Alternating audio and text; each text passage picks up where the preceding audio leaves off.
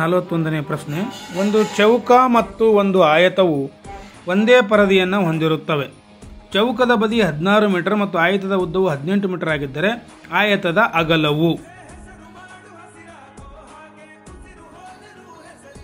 ನವೋದಯ ಪ್ರವೇಶ ಪರೀಕ್ಷೆಯ ಅಂಕಗಣಿತದ ಇಪ್ಪತ್ತು ಪ್ರಶ್ನೆಗಳನ್ನು ಒಂದೊಂದಾಗಿ ಬಿಡಿಸ್ತಾ ಹೋಗೋಣ. ಅದರಲ್ಲಿ ನಲವತ್ತೊಂದನೇ ಪ್ರಶ್ನೆ. ಒಂದು ಚೌಕ ಮತ್ತು ಒಂದು ಆಯತವು ಒಂದು ಪರದೆಯನ್ನ, ಒಂದೇ ಪರದೆಯನ್ನ ಹೊಂದಿರುತ್ತದೆ. ಚೌಕದ ಬದಿ ಹದಿನಾರು ಮೀಟರ್ ಮತ್ತು ಆಯತದ ಉದ್ದವು ಹದಿನೆಂಟು ಮೀಟರ್ ಆಗಿದ್ದರೆ ಆಯತದ ಅಗಲವು. ಆತ್ಮೀಯ ವಿದ್ಯಾರ್ಥಿಗಳೇ, ನಿಮಗೆ ಗೊತ್ತಿರಲಿ ಮೊದಲಿಗೆ ಚೌಕ ಎಂದ್ರೇನು, ಆಯತ ಅಂದ್ರೇನು ಅಂತ ತಿಳ್ಕೊಂಡು ಚೌಕದ ನಾಲ್ಕು ಬದಿಗಳೇನಾಗಿರ್ತವೆ ಸಮನಾಗಿರ್ತವೆ. ಎಕ್ಸಾಂಪಲ್ ಈ ಚೌಕದ ಒಂದು ಬದಿ ಹದಿನಾರು ಮೀಟರ್ನ ಕೊಟ್ಟಿದ್ದಾರೆ ಅಂದ್ರೆ ನಾಲ್ಕು ಬದಿಗಳು ಏನಾಗಿರ್ತವೆ ಹದಿನಾರು ಮೀಟರ್ ಆಗಿರ್ತವೆ. ತಮ್ಮ ಗಮನದಲ್ಲಿರಲಿ. ಆಯತದ ಬದಿಗಳು, ಎದುರಿನ ಬದುರಿನ ಬದಿಗಳು ಏನಾಗಿರ್ತವೆ ಸಮ ಆಗಿರ್ತವೆ. ಇದಕ್ಕೆ ಇದು ಸಮ ಇರುತ್ತೆ, ಇದಕ್ಕೆ ಇದು ಸಮ ಇರುತ್ತೆ. ಇದಕ್ಕೆ ನಾವು ಆಯತ ಅಂತ ಕರಿತೀವಿ. ಇಲ್ಲಿ ಆಯತದ ಉದ್ದವನ್ನು ಏನು ಕೊಟ್ಟಿದ್ದಾನಪ್ಪ ಅಂದ್ರೆ ಹದಿನೆಂಟನ್ನ ಕೊಟ್ಟಿದ್ದಾನೆ. ಆದ್ರೆ ಎದುರಿನ ಒಂದು ಬಾಹು ಕೂಡ ಏನಾಗಿರುತ್ತೆ ಹದಿನೆಂಟು ಮೀಟರ್ ಇರುತ್ತೆ. ನಾವಿಲ್ಲಿ ಕಂಡಿಬೇ ಕಂಡುಹಿಡಿಬೇಕಾಗಿರೋದು ಆಯತದ ಅಗಲವನ್ನ. ಹಾಗಾದ್ರೆ ಆಯತದ ಅಗಲ ಎಷ್ಟು ಅಂತ ಬಂದಾಗ, ಇದನ್ನ ನಾವು ಈಸಿಯಾಗಿನೂ ಕೂಡ ಕಂಡುಹಿಡಿಬಹುದು, ಹಾಗೆ ಸೂತ್ರದ ಮೂಲಕವನ್ನು ಕೂಡ ಕಂಡುಹಿಡಿಬಹುದು. ಸೂತ್ರದ ಮೂಲಕವನ್ನ ಕಂಡುಹಿಡಲಿಕ್ಕೆ ನಾವು ಯಾವ ತರ ನೋಡ್ಬೋದಪ್ಪ ಅಂದ್ರೆ ಮೊದಲಿಗೆ ಚೌಕದ ಒಂದು ವಿಸ್ತೀರ್ಣವನ್ನ ಕಂಡುಹಿಡಿಯೋಣ ಚೌಕದ ವಿಸ್ತೀರ್ಣವನ್ನು ಕಂಡುಹಿಡಲಿಕ್ಕೆ ಹದಿನಾರು ಇಂಟು ನಾಲ್ಕು ಮಾಡ್ಕೊಂಡ್ರೆ ಸಾಕು ನಾವು ಹದಿನಾರು ಇಂಟು ನಾಲ್ಕು ಯಾಕೆ ಮಾಡ್ಕೋಬೇಕಪ್ಪ ಅಂದ್ರೆ ಚೌಕದ ನಾಲ್ಕು ಬಾಹುಗಳನ್ನು ಚೌಕ ಹೊಂದಿರುವುದರಿಂದ ಒಂದು ಬಾವು ಹದಿನಾರು ಮೀಟರ್ ಇಂಟು ಫೋರ್ ಮಾಡ್ಕೊಂಡಾಗ ನಮಗೆ ಏನು ಸಿಗುತ್ತೆ? ಅರವತ್ನಾಲ್ಕು ಮೀಟರ್ ಸಿಗ್ತಕ್ಕಂಥದ್ದು. ಚೌಕದ ವಿಸ್ತೀರ್ಣ ಅರವತ್ನಾಲ್ಕು ಮೀಟರ್ ಆಗಿದೆ. ಹಾಗಾದ್ರೆ ನಮಗೆ ಈ ಆಯುಧದ ವಿಸ್ತೀರ್ಣ ಕೂಡ ಎಷ್ಟಾಗಿರ್ಬೇಕು? ಅರವತ್ನಾಲ್ಕೇ ಆಗಿರಬೇಕು. ಹಾಗೆ ಒಂದು ಸೂತ್ರವು ಕೂಡ ಇದೆ. ಆಯತದ ಒಂದು ವಿಸ್ತೀರ್ಣವನ್ನ ಕಂಡುಹಿಡಿಯಲಿಕ್ಕೆ ಒಂದು ಏನ್ ಸೂತ್ರ ಬರುತ್ತಪ್ಪ ಅಂದ್ರೆ ಆಯತದ ಅಗಲವನ್ನ ಕಂಡುಹಿಡಿಯಲಿಕ್ಕೆ ಆಯತದ ಅಗಲ ಸುತ್ತಳತೆ ಸುತ್ತಳತೆ ಮೈನಸ್ ಎರಡು ಉದ್ದ ಡಿವೈಡೆಡ್ ಬೈ ಟೂ ಮಾಡ್ಕೊಳ್ಳೋಣ. ಸುತ್ತಳತೆ ಆಲ್ರೆಡಿ ಗೊತ್ತಿರತಕ್ಕಂಥದ್ದು ನಮಗೆ ಅರವತ್ನಾಲ್ಕು. ಮೈನಸ್ ಎರಡು ಉದ್ದ ಹದಿನೆಂಟು ಮೀಟರ್ ಕೊಟ್ಟಿರ್ತಕ್ಕಂಥದ್ದು ಹದಿನೆಂಟು ಡಿವೈಡೆಡ್ ಬೈ ಟೂ. ಈ ರೀತಿ ಮಾಡಿಕೊಂಡಾಗ ಅರವತ್ನಾಲ್ಕು ಡಿವೈಡೆಡ್ ಬೈ ಎರಡು ಎಂಟು ಹದಿನೆಂಟು ಎಷ್ಟು ಬರುತ್ತಪ್ಪ ಅಂದ್ರೆ ಮೂವತ್ತಾರು ಬರುತ್ತೆ. ಡಿವೈಡೆಡ್ ಬೈ ಎರಡು ಆದಾಗ ಇಲ್ಲಿ ನಮಗೆ ಎಷ್ಟು ಸಿಗುತ್ತೆ? ಇಪ್ಪತ್ತೆಂಟು ಸಿಗುತ್ತೆ. ಇಪ್ಪತ್ತೆಂಟರಲ್ಲಿ ಎರಡನ್ನು ಹೊಡೆದಾಗ ನಮಗೆ ಹದಿನಾಲ್ಕು ಸಿಗ್ತಕ್ಕಂಥದ್ದು. ಹೀಗಾಗಿ ಹದಿನಾಲ್ಕು ಮೀಟರ್ ಸರಿಯಾಗಿರ್ತಕ್ಕಂಥ ಉತ್ತರ. ಇಲ್ಲಿ ನೀವು ನಿಮ್ಮ ಉತ್ತರವನ್ನು ಕೂಡ ತಾಳೆ ನೋಡಬಹುದು ಯಾವ ರೀತಿ ತಾಳೆ ನೋಡಬಹುದು ಅಂದ್ರೆ ಹದಿನಾಲ್ಕು ಹದಿನಾಲ್ಕು ಇಪ್ಪತ್ತೆಂಟಾಯ್ತು ಹಾಗೆ ಹದಿನೆಂಟು ಹದಿನೆಂಟು, ಮೂವತ್ತಾರು ಆಯ್ತು. ಇವೆರಡನ್ನು ಕೂಡಿಸಿದಾಗ ನಮ್ಗೆ ಏನ್ ಸಿಗುತ್ತೆ? ಅರವತ್ನಾಲ್ಕು ಸಿಗ್ತಕ್ಕಂಥದ್ದು. ಈ ರೀತಿಯಾಗಿ ನಾವು ಆರಾಮಾಗಿ ಉತ್ತರವನ್ನ ಕಂಡುಹಿಡಿಬಹುದು ಇದ್ರ ಜೊತೆಗೆ ಇನ್ನೂ ಈಸಿಯಾಗಿ ನೋಡ್ಕೋಬೇಕಪ್ಪ ಅಂದ್ರೆ ಈ ಅರವತ್ನಾಲ್ಕರಲ್ಲಿ ಕೊಟ್ಟಿರ್ತಕ್ಕಂಥ ಹದಿನೆಂಟು, ಹದಿನೆಂಟನ್ನು ಕೂಡಿಸಿ ಮೂವತ್ತಾರನ್ನ ತೆಗೆದ್ರೆ ನಮ್ಗೆ ಏನ್ ಸಿಗುತ್ತೆ ಅವಾಗ? ಇಪ್ಪತ್ತೆಂಟು ಸಿಗುತ್ತೆ. ಈ ಎರಡು ಈ ಎರಡುಗಳ ಒಂದು ಏನಿದೆ? ಇಪ್ಪತ್ತೆಂಟು ಮೀಟರ್ ಇದೆ. ಅದಕ್ಕೆ ನಾವು ಟೂ ಮಾಡ್ಕೊಂಡಾಗ ಕೂಡ ನಮ್ಗೆ ಏನ್ ಸಿಗುತ್ತೆ? ಹದಿನಾಲ್ಕು ಮೀಟರ್ ಸಿಗ್ತಕ್ಕಂಥದ್ದು. ಈ ರೀತಿಯಾಗಿ ಕೂಡ ನಾವೇನ್ ಮಾಡ್ಕೋಬಹುದು? ಉತ್ತರವನ್ನ ಕಂಡುಹಿಡಿಬಹುದು ಅಂತ ಹೇಳ್ತಾ ಮುಂದಿನ ಪ್ರಶ್ನೆಗೆ ಹೋಗೋಣ. ಆರ್ನೂರ ನಲವತ್ತರ ಅವಿಭಾಜ್ಯ ಅಪವರ್ತನೀಕರಣವನ್ನ ಮಾಡೋದು. ಇದನ್ನ ನಾವು ಯಾವ ರೀತಿ ಮಾಡ್ಕೋಬೇಕಪ್ಪ ಅಂದ್ರೆ ಅಪವರ್ತನಗಳನ್ನ ಹೊರತಕ್ಕೊಳ್ತಕ್ಕಂಥ ಕೆಲಸವನ್ನ ಆರ್ನೂರ ನಲವತ್ತು. ಮೊದಲಿಗೆ ಸಣ್ಣ ಸಂಖ್ಯೆ ಅವಿಭಾಜ್ಯ ಯಾವ್ದಪ್ಪ ಅಂದ್ರೆ ಎರಡನ್ನ ತೆಗೆದುಕೊಳ್ಳೋಣ. ಎರಡನ್ನ ತೆಗೆದುಕೊಂಡಾಗ ನಮಗೆ ಮುನ್ನೂರ ಇಪ್ಪತ್ತು ಬರುತ್ತೆ. ಮತ್ತೆ ಎರಡನ್ನ ತೆಗೆದುಕೊಳ್ಳೋಣ. ಒಂದು, ಆರು, ನೂರ ಅರವತ್ತು ಬರುತ್ತೆ. ಮತ್ತೆ ಎರಡನ್ನ ತೆಗೆದುಕೊಳ್ಳೋಣ ಎಂಬತ್ತು ಬರುತ್ತೆ. ಮತ್ತೆ ಎರಡನ್ನ ತೆಗೆದುಕೊಳ್ಳೋಣ ನಲವತ್ತು ಬರುತ್ತೆ. ಮತ್ತೆ ಎರಡನ್ನ ತೆಗೆದುಕೊಳ್ಳೋಣ ಇಪ್ಪತ್ತು ಬರುತ್ತೆ. ಮತ್ತೆ ಎರಡನ್ನ ತೆಗೆದುಕೊಳ್ಳೋಣ ಹತ್ತು ಬರುತ್ತೆ. ಮತ್ತೆ ಎರಡನ್ನ ತೆಗೆದುಕೊಳ್ಳೋಣ ಐದು ಬರುತ್ತೆ. ಈಗ ನಾವು ಕೊನೆಯದಾಗಿ ಐದನ್ನ ತೆಗೆದುಕೊಳ್ಳೋಣ. ಹೀಗೆ ಎರಡು ಎರಡು ಎರಡು ಎರಡು ಎರಡು ಎರಡು ಇಂಟು ಐದು. ಇದು ಅಪವರ್ತನೀಕರಣ ಅಂದರೆ ಎರಡು ಇಂಟು ಎರಡು ಎರಡು ಎರಡು ಇಂಟು ಎರಡು ಇಂಟು ಎರಡು ಇಂಟು ಎರಡು ಇಂಟು ಫೈವ್ ನೋಡಿ ಎರಡು ಎಳೆ ನಾಲ್ಕು ನಾಲ್ಕು ಎಳೆ ಎಂಟು ಎಂಟು ಎಳೆ ಹದಿನಾರು ಹದಿನಾರು ಎಳೆ ಮೂವತ್ತೆರಡು ಮೂವತ್ತೆರಡು ಎಳೆ ಅರವತ್ನಾಲ್ಕು ಅರವತ್ನಾಲ್ಕು ಎಳೆ ನೂರ ಇಪ್ಪತ್ತೆಂಟು ನೂರ ಇಪ್ಪತ್ತೆಂಟು ಐಲೆ ಆರುನೂರ ನಲವತ್ತಾಗಿರ್ತಕ್ಕಂಥದ್ದು. ಈ ರೀತಿಯಾಗಿ ನಾವೇನು ನೋಡ್ಬೋದು. ಅಪವರ್ತನೀಕರಣವನ್ನ ಮಾಡಬಹುದು ಇನ್ನೊಂದು ಮೆಥಡ್ ಅಲ್ಲಿ ಕೂಡ ನಾವು ಅಪವರ್ತನೀಕರಣವನ್ನ ಮಾಡಬಹುದು ಮುಂದಿನ ಒಂದು ಪ್ರಶ್ನೆಗೆ ಹೋಗೋದಾದ್ರೆ, ಅಮಿತ್ ಹನ್ನೆರಡು ನೂರಿಗೆ ಒಂದು ಟೇಬಲ್ ಖರೀದಿಸಿ ಅದರ ದುರಸ್ತಿಗಾಗಿ ಎರಡು ನೂರು ರೂಪಾಯಿ ಖರ್ಚು ಮಾಡಿದನು. ಅವನು ಅದನ್ನು ಹದಿನಾರು ನೂರ ಎಂಬತ್ತೂರಿಗೆ ಮಾರಾಟ ಮಾಡಿದರೆ ಅವನಿಗೆ ಆದ ಲಾಭ ಅಥವಾ ನಷ್ಟದ ಶೇಕಡ ಎಷ್ಟು ಅಂತಕ್ಕಂಥದ್ದು ಪ್ರಶ್ನೆ. ಓಕೆ ಹನ್ನೆರಡು ನೂರಕ್ಕೆ ಅವನು ಏನ್ ಮಾಡಿದ? ಟೇಬಲ್ ಅನ್ನ ಖರೀದಿ ಮಾಡಿದ. ಎರಡು ನೂರ ರೂಪಾಯಿ ಕೊಟ್ಟು ಟೇಬಲ್ ಅನ್ನು ಏನ್ ಮಾಡಿದ? ರಿಪೇರಿ ಮಾಡಿದ. ಒಟ್ಟಾರೆ ಆತ ಖರ್ಚು ಮಾಡಿರ್ತಕ್ಕಂಥ ಹಣ ಎಷ್ಟು? ಹದಿನಾಲ್ಕು ನೂರು ರೂಪಾಯಿ ಹಣವನ್ನು ಏನ್ ಮಾಡಿದ? ಖರ್ಚು ಮಾಡಿದ. ಟೇಬಲ್ ಅನ್ನು ಎಷ್ಟಕ್ಕೆ ಮಾರಿದ ಅಂದ್ರೆ ಹದಿನಾರು ನೂರ ಎಂಬತ್ತಕ್ಕೆ ಮಾರಾಟ ಮಾಡಿದ. ಹದಿನಾರು ನೂರ ಎಂಬತ್ತಕ್ಕೆ ಮಾರಾಟ ಮಾಡಿದ. ಹದಿನಾರು ನೂರ ಎಂಬತ್ತಕ್ಕೆ ಮಾರಾಟ ಮಾಡಿದ. ಖರ್ಚು ಎಷ್ಟು ಮಾಡಿದ? ಒಟ್ಟಾರೆ ಹದಿನಾಲ್ಕು ನೂರು ಮಾಡಿದ. ಈಗ ಮಾರಾಟದಲ್ಲಿ ನಾವು ಮಾರಿದ ಬೆಲೆಯನ್ನು ತೆಗೆದ್ರೆ ಒಟ್ಟು ಎಷ್ಟಾದವನಿಗೆ ಎರಡು ನೂರ ಎಂಬತ್ತು ರೂಪಾಯಿ ಲಾಭ ಆಗಿರ್ತಕ್ಕಂಥದ್ದು. ಇಲ್ಲಿ ಕೇಳಿರ್ತಕ್ಕಂಥದ್ದು ಶೇಕಡ. ಅಂದ್ರೆ ಅವನಿಗೆ ಹದಿನಾಲ್ಕು ನೂರಕ್ಕೆ ಎರಡು ನೂರ ಎಂಬತ್ತು ಲಾಭ ಆದ್ರೆ ನೂರಕ್ಕೆ ಎಷ್ಟು ಅಂತ. ಅವಾಗ ನಾವೇನ್ ಮಾಡ್ಬೇಕಾಗತ್ತೆ? ಈ ರೀತಿ ಕ್ರಾಸ್ ಮಾಡಿಕೊಂಡು ನೂರು divided by sorry into two hundred eighty divided by fourteen hundred ಮಾಡಿಕೊಂಡ್ರೆ ಈ ಸೊನ್ನೆಗೆ ಹೋಯ್ತು. ಈ ಸೊನ್ನೆ ಈ ಸೊನ್ನೆಗೆ ಈ ಸೊನ್ನೆ. ಹದಿನಾಲ್ಕು ಒಂದಲೇ, ಹದಿನಾಲ್ಕು ಎರಡಲೇ, ಸೊನ್ನೆಗೆ ಸೊನ್ನೆ. ಒಟ್ಟು ಆಗಿರ್ತಕ್ಕಂಥ ಲಾಭದ ಪ್ರತಿಶತ ಎಷ್ಟಪ್ಪ ಅಂದ್ರೆ ಇಪ್ಪತ್ತು ಪರ್ಸೆಂಟ್ ಈ ರೀತಿಯಾಗಿ ನಾವು ಸೂತ್ರದ ಮೂಲಕವು ನೋಡೋದಾದ್ರೆ ಏನ್ ಮಾಡ್ಬೇಕಾಗತ್ತಪ್ಪ ಅಂದ್ರೆ ಮಾರಿದ, ಮಾರ ಅಂದ್ರೆ ಕೊಂಡುಕೊಂಡಂತದನ್ನ ಏನ್ ಮಾಡ್ಬೇಕು? ಮಾರಾಟದಲ್ಲಿ ಕಳಿಬೇಕು. ಮಾರಿದ ಬೆಲೆ ಮೈನಸ್ ಕೊಂಡುಕೊಂಡಂತಹ ಬೆಲೆ ಬಂದಾಗ ಲಾಭ ಬರುತ್ತೆ. ಆ ಲಾಭವನ್ನು ನೂರಕ್ಕೆ ತೆಗೆದಾಗ ನಮಗೆ ಪ್ರತಿಫಲ ಸಿಗುತ್ತೆ ಅಂತಕ್ಕಂಥದ್ದು ಮುಂದಿನ ಪ್ರಶ್ನೆಗೆ. ಒಂದು ವೇಳೆ ಹದಿನೈದು ಮೈನಸ್ ಹದಿನೈದು ಡಿವೈಡೆಡ್ ಬೈ ಹದಿನೈದು ಇಂಟು ಆರು ಇಸ್ಕಲ್ ಟು ಎಕ್ಸ್ ಆಗಿದ್ದರೆ ಎಕ್ಸಿನ ಬೆಲೆ ಏನು ಅಂತ ಕೇಳಿರ್ತಕ್ಕಂಥದ್ದು. ನಾವಿಲ್ಲಿ ಎಕ್ಸಿನ ಬೆಲೆಯನ್ನ ಕಂಡುಹಿಡಿಯಬೇಕು. ಇಂಥ ಒಂದು ಸಂದರ್ಭದಲ್ಲಿ ನಾವು ಏನ್ ಮಾಡಬೇಕಾಗತ್ತಪ್ಪ ಅಂದ್ರೆ ಬೋಡೋ ಮಾಸ್ ಥಿಯರಿಯನ್ನ ಅನ್ವಯಿಸ್ಕೋಬೇಕು. ಬೋಡೋ ಮಾಸ್ ಥಿಯರಿ ಅಂದ್ರೆ B O D M A S board of mass ಹಿಂಗಂದ್ರೆ ಏನು ಅಂದಾಗ ಬೋ B for bracket B for bracket O for order D for divide D for divide M for multiply A for add S for subtract ಅಂತಕ್ಕಂಥದ್ದು. ಇದು ನಮ್ಗೆ ಗೊತ್ತಿದ್ರೆ ಇಂಥ ಲೆಕ್ಕಗಳನ್ನು ಮಾಡಲಿಕ್ಕೆ ಏನಾಗುತ್ತೆ? ತುಂಬಾ ಈಸಿ ಆಗ್ತಕ್ಕಂಥದ್ದು. ಇದು ತಮ್ಮ ಗಮನದಲ್ಲಿ B for bracket O for order D for divide M for multiple, A for add, S for subtract. ಅಂದ್ರೆ ಮೊದಲಿಗೆ ಬ್ರಕೆಟ್ ನಂತರ ಆರ್ಡರ್ ಮಾಡ್ಕೊಳ್ಳೋದು. ಡಿವೈಡ್ ಅಂದ್ರೆ ಭಾಗಿಸೋದು ಮಲ್ಟಿಫಲ್ ಅಂದ್ರೆ ಗುಣಿಸೋದು ಆಡ್ ಅಂದ್ರೆ ಕುಡಿಸೋದು ಎಸ್ ಅಂದ್ರೆ ಸಬ್ಸ್ಟ್ರಾಕ್ಟ್ ಅಂದ್ರೆ ಕಳೆಯೋದು. ನೋಡೋಣ ಈಸಿಯಾಗಿ ಇಲ್ಲಿ ಮೊದಲಿಗೆ ನಾವು ಏನ್ ಮಾಡ್ಬೇಕಾಗಿದೆ? ಡಿವೈಡ್ ಮಾಡ್ಕೋಬೇಕಾಗಿರ್ತಕ್ಕಂಥದ್ದು. ಡಿವೈಡ್ ಮಾಡಬೇಕಾದಾಗ ಹದಿನೈದು ಬಾಗ್ಲೆ ಹದಿನೈದು ಮಾಡ್ಕೊಂಡಾಗ ಒಂದು ಬರುತ್ತೆ. ಇಲ್ಲಿ ಮೈನಸ್ ಇರೋದ್ರಿಂದ ಮೈನಸ್ ಒಂದ್ ಆಗುತ್ತೆ. ಇಂಟು ಆರು. ಇಸ್ಕಲ್ ಟು ಎಕ್ಸ್ ಇದ್ದೇ ಇರುತ್ತೆ. ಮುಂದೆ ಈಗ ನಾವೇನ್ ಮಾಡ್ಕೋಬೇಕು ಮಲ್ಟಿಫಿಕೇಶನ್ ಮಾಡ್ಕೋಬೇಕು. ಹದಿನೈದು ಮೈನಸ್ ಒಂದ್ ಇಂಟು ಆರ್ ಅಂದಾಗ ಏನಾಗುತ್ತೆ? ಮೈನಸ್ ಆರ್ ಆಗುತ್ತೆ ಇಸ್ಕಲ್ ಟು ಎಕ್ಸ್ ಇರುತ್ತೆ. ಹದಿನೈದು ಮೈನಸ್ ಆರನ್ನ ಹದಿನೈದರಲ್ಲಿ ಆರನ್ನ ಕಳೆದ್ರೆ ಒಂಬತ್ತು ಬರುತ್ತೆ. ಹಾಗಾದ್ರೆ ಎಕ್ಸಿನ ಬೆಲೆ ಎಷ್ಟು ಎಷ್ಟಂದಂಗಾಯ್ತು ಒಂಬತ್ತು ಎಕ್ಸಿನ ಬೆಲೆ ಆಗಿರ್ತಕ್ಕಂಥದ್ದು. ನಮ್ಮ ಉತ್ತರವು ಕೂಡ ಎಷ್ಟಾಗಿರ್ತಕ್ಕಂಥದ್ದು ಒಂಬತ್ತಾಗಿರ್ತಕ್ಕಂಥದ್ದು ಮುಂದಿನ ಪ್ರಶ್ನೆಗೆ ಹೋಗೋಣ.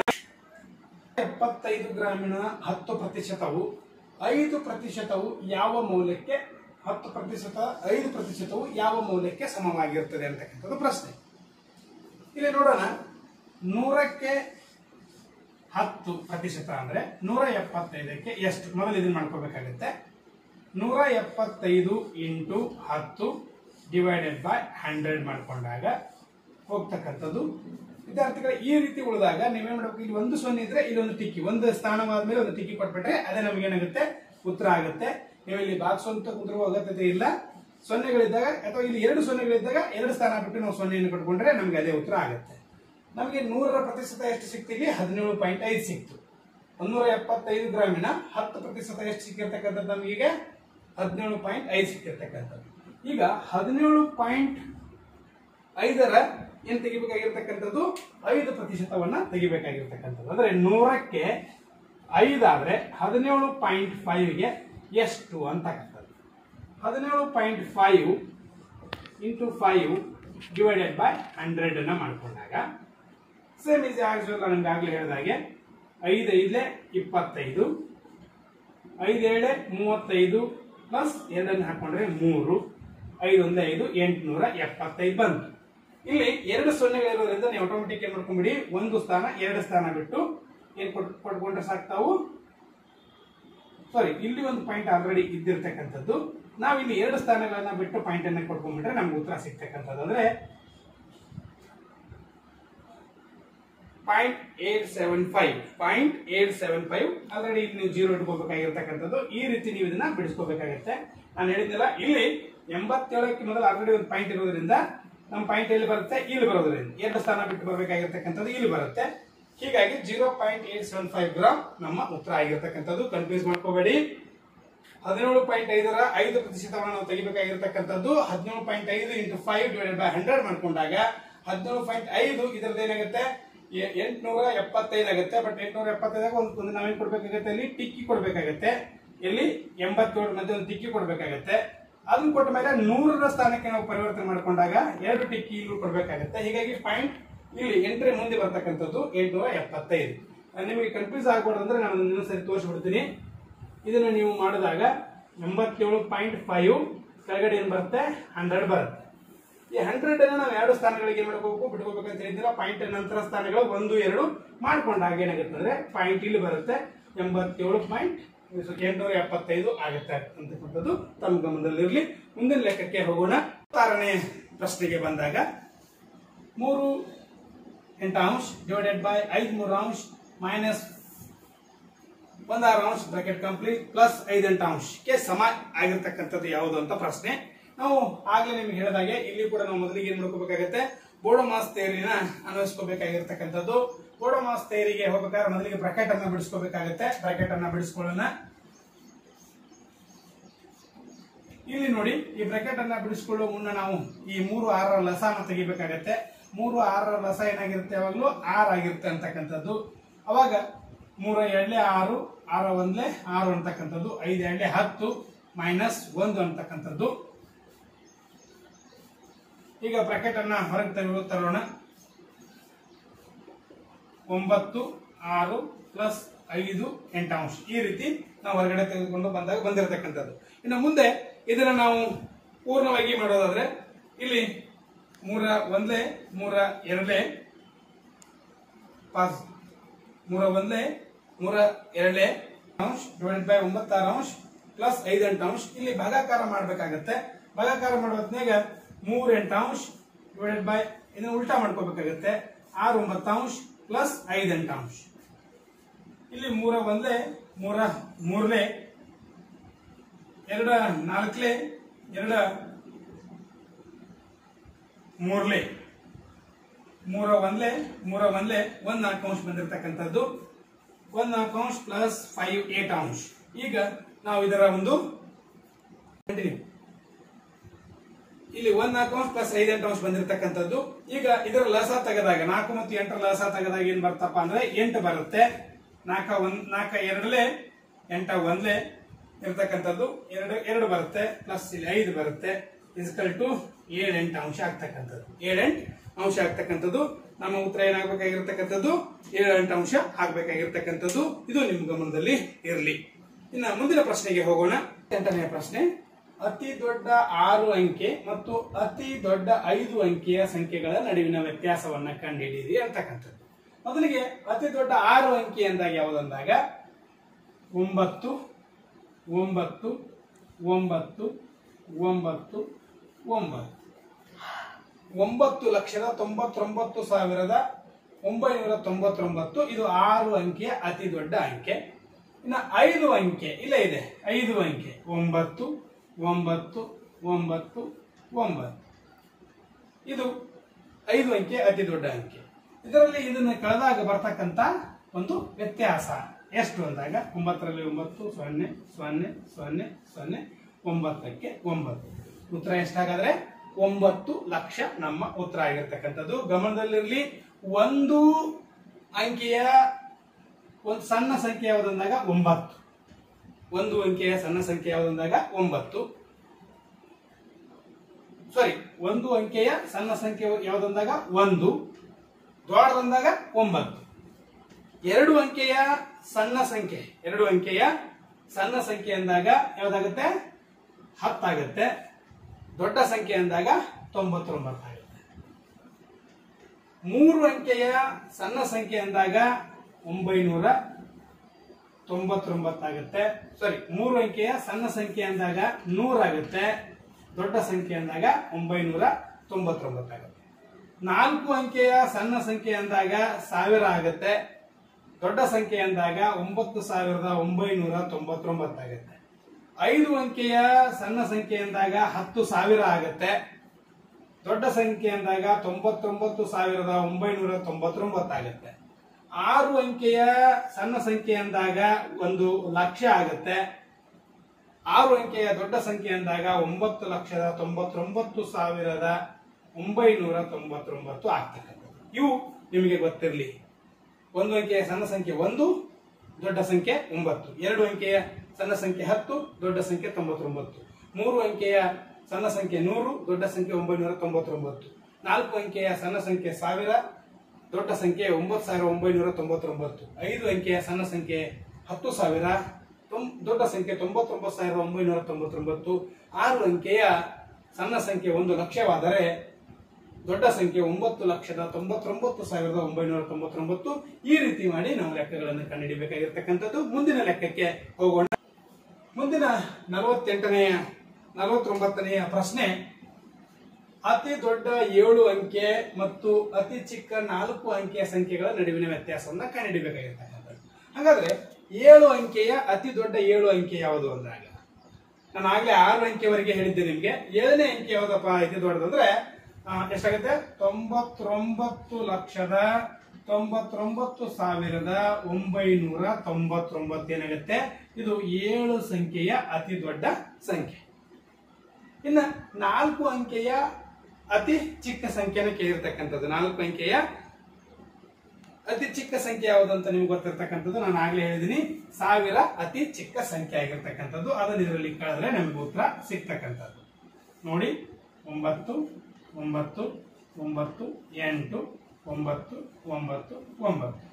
ತೊಂಬತ್ತೊಂಬತ್ತು ಸಾವಿರದ ಸಾರಿ ತೊಂಬತ್ತೊಂಬತ್ತು ಲಕ್ಷದ, ತೊಂಬತ್ತೆಂಟು ಸಾವಿರದ, ತೊಂಬತ್ತೊಂಬತ್ತು ಲಕ್ಷದ, ತೊಂಬತ್ತೆಂಟು ಸಾವಿರದ